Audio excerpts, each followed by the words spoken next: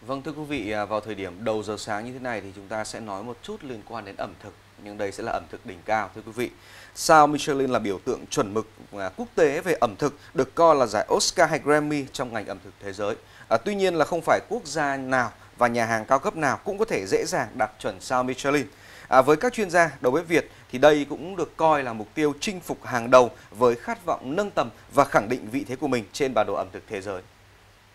Và cũng liên quan tới lĩnh vực này thì mới đây trong khuôn khổ lễ hội văn hóa ẩm thực Việt Nam và quốc tế do Bộ Văn hóa tổ chức, nhiều đầu bếp hàng đầu của Việt Nam và nước ngoài đã thảo luận về những việc cần làm, nên làm để làm sao chúng ta có thể góp phần từng biết hiện thực hóa khát vọng đưa các nhà hàng Việt sớm đạt chuẩn sao Michelin.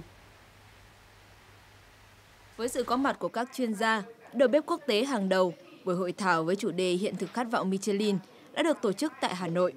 Thông qua các kinh nghiệm thực tế, những chia sẻ thẳng thắn về ưu thế và khó khăn đang cản trở con đường quốc tế hóa ẩm thực Việt, câu chuyện mang sao Michelin về Việt Nam mang tới nhiều chân trở cho các đầu bếp Việt.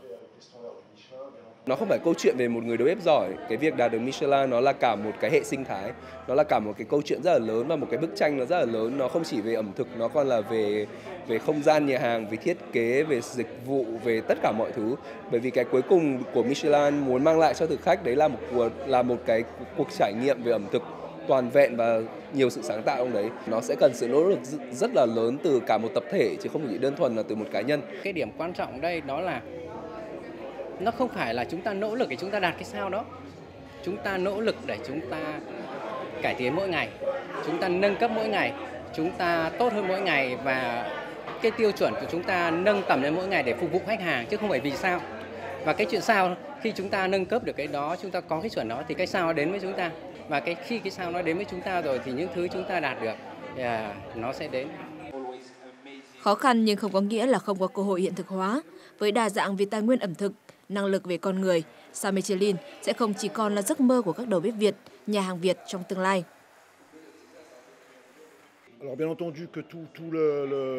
Tôi rất vui khi được trao đổi các kinh nghiệm của mình với các chef và các chuyên gia ẩm thực của Việt Nam. Với kinh nghiệm của tôi khi được trải nghiệm từ các nhà hàng của Việt Nam tại Hà Nội, Đà Nẵng hay Hồ Chí Minh, thì các bạn hoàn toàn có thể đạt được các tiêu chuẩn của Michelin. Đặc biệt là với nguồn lực và khát vọng của các bạn. Tôi tin tưởng rằng Việt Nam không chỉ là một điểm đến du lịch, mà còn là điểm đến của ẩm thực.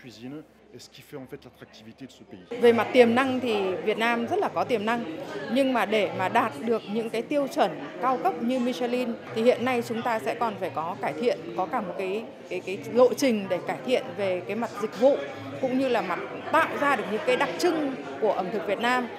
Cái kỹ thuật nấu nướng của các đầu bếp Việt Nam sẽ còn phải học hỏi. Bởi vì thế nên là chúng tôi là ban tổ chức chúng tôi cũng mong muốn là có thêm được những cơ hội để cho đầu bếp Việt Nam được giao lưu với các đầu bếp quốc tế, đặc biệt là những cái đầu bếp mà họ đã từng có sao Michelin rồi, họ chia sẻ để các đầu bếp Việt Nam cũng có thể học hỏi được để mình áp dụng cho cái nhà hàng của mình.